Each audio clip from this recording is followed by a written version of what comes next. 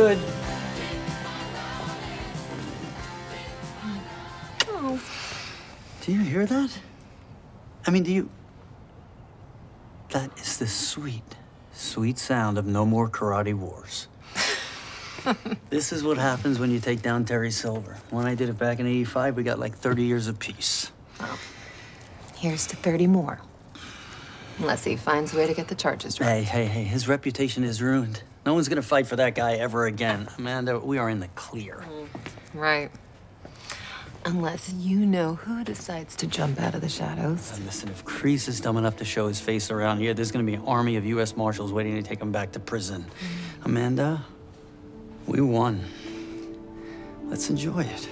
With Sam applying to college and Anthony starting high school, is now really the best time to be entering the kids in a world karate tournament? Silver wanted to use the Sekai Taikai to spread Cobra Kai worldwide, but now, if we win, kids around the world are gonna want to join Miyagi-Do. So, karate is gonna be our rest of our lives kind of thing. Don't worry, after this tournament, my full-time sensei days are over. Oh. This tournament is my karate swan song.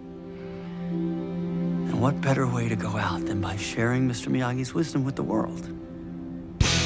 Eagle Fang's going global, boys.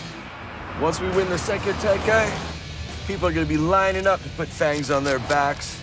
We're gonna need a second location, hundreds of geese, training room with a couple of those ice baths. Isn't that a little aggressive? Hell yeah, gotta have ice in your veins to take over the karate game. What does Mr. LaRusso think of all this? And you guys are supposed to be going like 50-50, right? Russo wants to open up a couple more dojos, he can be my guest. At the end of the day, people are gonna have to decide if they want to learn karate from a car salesman or an actual sensei. Uh, I think you missed the turn. Miyagi-Do's back that way. No, gotta make sure you guys don't go soft on me. We may be a combined dojo, but we're Eagles where it counts.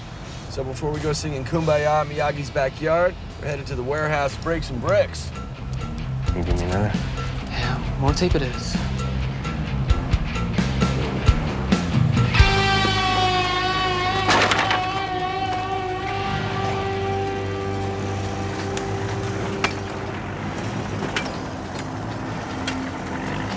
You don't need to have a dojo to be a dojo, right? Right.